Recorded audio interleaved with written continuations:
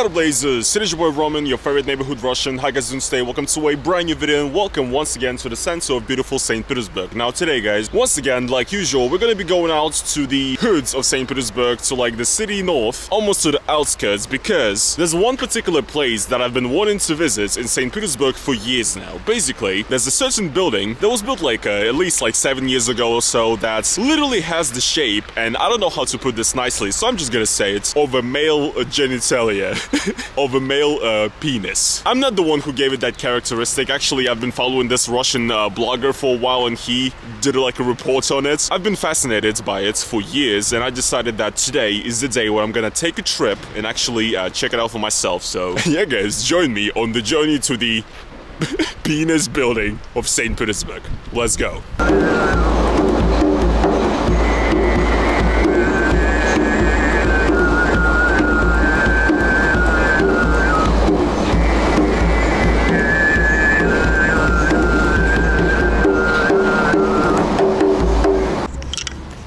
Alright people, here we are, we just made it out. Here we are at the uh, Ozerki metro station. I've actually been here before because like a good friend of mine lives here, uh, you know, in the hoods. And as you guys can see, definitely we're in some Soviet uh, neighborhoods which is very different to what you see in, uh, you know, central St. Petersburg. And I like it. It makes me feel at home, like I'm back at home in Chelyabinsk. Now in the metro, you saw that guy that was playing like the drums and uh, doing throat singing, I think he was. I recorded him, I didn't have any cash on me, so I didn't know what to do with myself, you know? And the guy was like, it's okay. And I think he was mute, so what he did is that he came up to me and uh, he asked me for my phone, opened up Instagram on my phone, and I was like pointing at myself, like, me? And he was like, no, me. And uh, he typed his Instagram into my phone, so I think he'd probably like me to show you guys his Instagram. So yeah, I didn't give him like 200 rubles or whatever that I would have on me. Otherwise, if I used cash, yeah, there you go. That's his Instagram. But yeah, cool guy. And uh, he made that train ride absolutely delightful.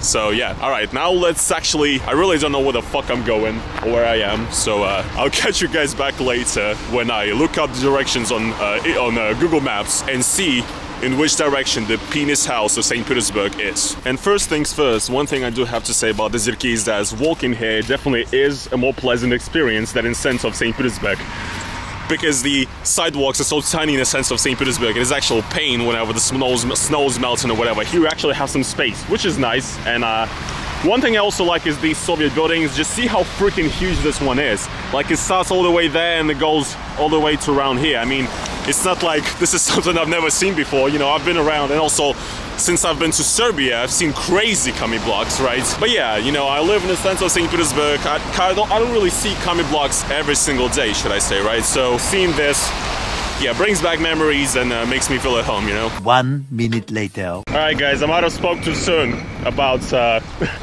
the sidewalks being nice here, because I just walked all the way to like a gas station with a McDonald's and now I'm completely in the middle of buttfuck nowhere. I think I gotta go back to be honest, because I'm literally walking.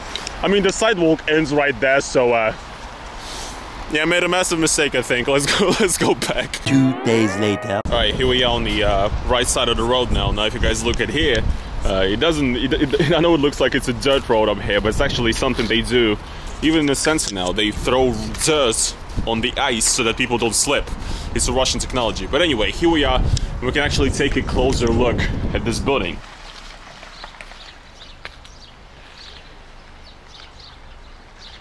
Yeah guys, so here we are and we have a classic like uh, classic image of what a Russian spring looks like, you know. Uh, you know, it's like one of those pictures where it's like, you know, feeling bad about yourself, go outside, have a have a walk and uh, then you remember that you live in Eastern Europe. This is what happens basically.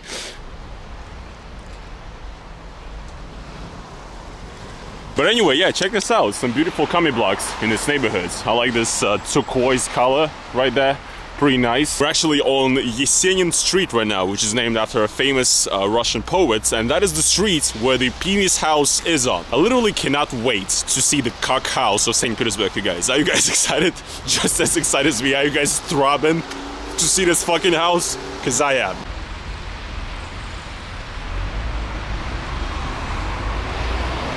Okay, guys, I think this is it. I think we're actually coming up to it. I'll be damned if this is not it. I cannot believe this, guys. The journey of this entire channel, the journey of seven plus years, is finally coming to an end. Now, you guys might think that I've worked on videos hard for this channel and everything. I work on my YouTube career, per se, to make money or uh, wear cool clothes. That is not the case. The entire YouTube journey to this point has been leading up to uh, visiting the penis house of St. Petersburg. And we're actually here right now. Oh, and there's a statue right there. I did not expect that. Let's check it out. Here you go. Here's a statue of uh, Sergei Yesenin, legendary Russian poet. I guess this was uh, Yesenin's dream uh, all this time to be in France of the penis house of the Saint of Saint Petersburg, and so was mine. And here I am. Oh my god, the wind here is fucking insane. Whatever. All I'm trying to say is that look, before you guys, you know, shit on me in the comments, I'm not trying to make fun of anybody who lives in this building or anything. And admittedly, coming up to it here, right?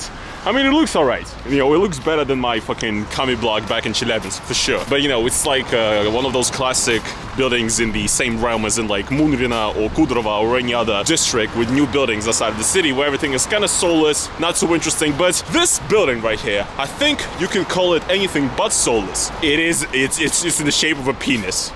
There's not much more soul, soulful that you can, you can get, you know?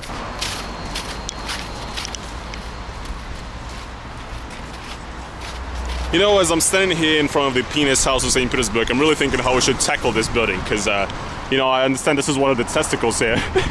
so I guess I'm gonna go in between, uh, sort of in the, uh, in the scrotum area, and uh, penetrate, and uh, let's see, let's see what it looks like from the inside.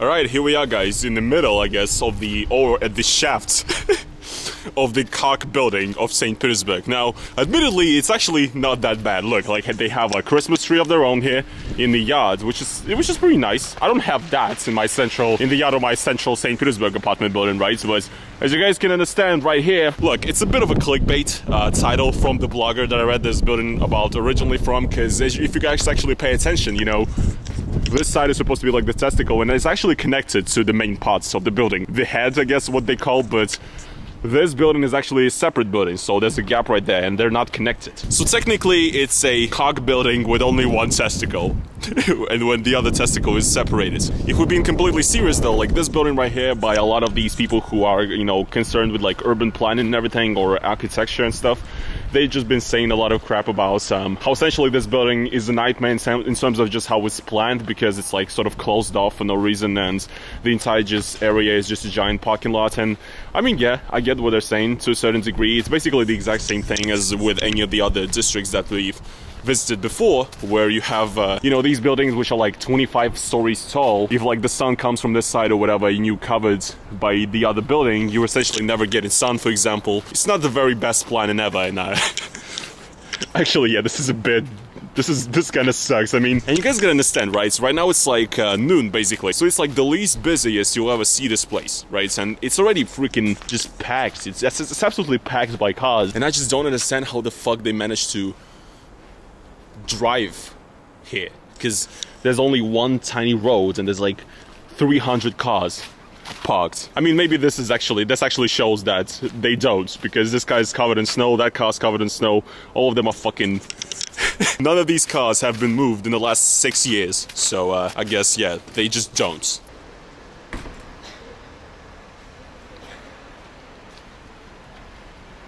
Man, really people, do people really not give a fuck about their cars in this neighborhood? What is going on? This, this poor Toyota Celica. It's not been touched in the last 50 years. Man, I guess this is what happens when you have too much cars parked and you cannot get out. Here's another one right there as well, and like this, this is just not a coincidence, and it's not like old rusty Ladas or anything. It's proper decent cars, right? This cannot be a coincidence.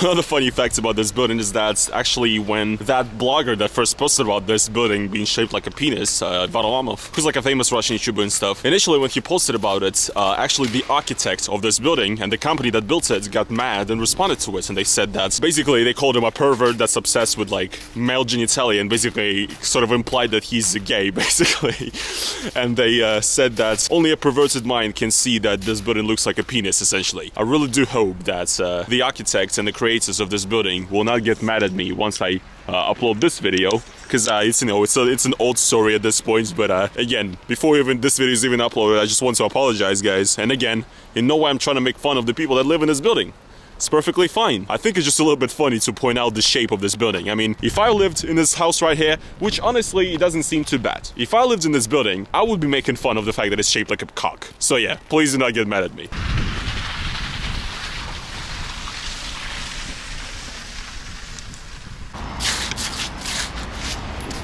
Anyways, guys, before we leave here, uh, what can I say about the uh, cock, the penis house of St. Petersburg? I can definitely say one thing. It's one of the buildings ever made. That is definitely for sure. Other than that, I mean, I don't know. To be quite honest, this video is fucking stupid. It's just, guys, it's the start of the year. I'm running out of ideas, okay? Give me a break. I just thought this was gonna be fun. And uh, the idea of a house being shaped like a penis was hilarious to me because I'm literally a 12 year old boy on the inside. So yeah, uh, I'm actually freezing my absolute ass off. I thought it was gonna be a bit warmer today, so let's go back to the metro station and maybe I'm gonna round off the video here. And uh, yeah.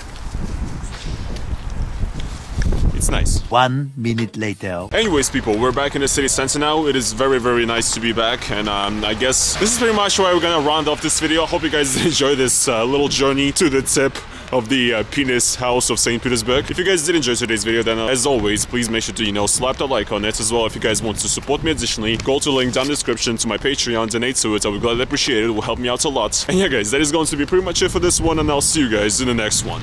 Peace. Okay. I'm actually getting run over, everybody. Bye.